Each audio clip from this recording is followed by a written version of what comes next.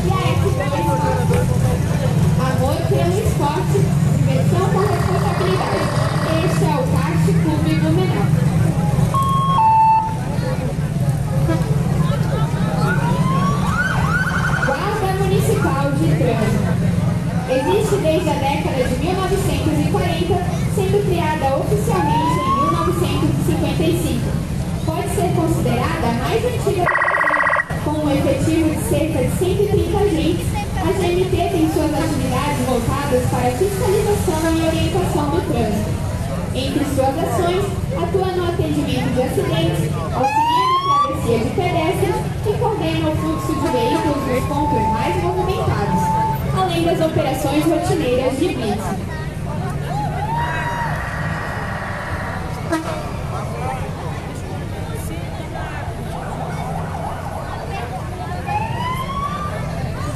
E encerrando o desfile do aniversário de 172 anos de Blumenau, o sítio comercial de Blumenau.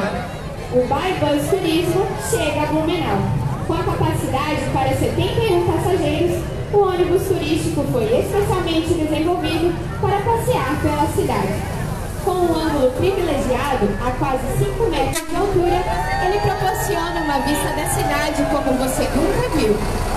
No dia de hoje, o tour é com os estudantes da Escola Isolada Municipal Bilingue Alves Ramos. E agora o prefeito Mário Hildebrand e a vice Maria Regina se juntam ao passeio até o final da rua 15 de novembro. Este é mais um presente para Blumenau que poderá ser utilizado por moradores e turistas. A Prefeitura Municipal de Blumenau agradece a presença e convida todos para o desfile de aniversário da cidade, que acontecerá na Vila Ipopava às 15 horas, na rua Henrique Conrad. Após o desfile, ocorre ainda o corte da maior cuca do Brasil, com 172 metros de comprimento, no ginásio da Escola de Educação Básica Coronel Pedro Cristiano Fedesen, às 16 horas, também na Vila Ipopava. E com a apresentação do City Tour encerra o desfile aqui na rua 15 de novembro, nas comemorações de 172 anos da cidade de Blumenau. Mais uma vez, parabéns, Blumenau, parabéns a todos os blumenauenses. Obrigado a você que ficou conosco aqui, mesmo na chuva aqui, mas conseguimos transmitir o desfile. Então, um grande abraço, um grande feriado para todos. Fiquem com Deus e até mais.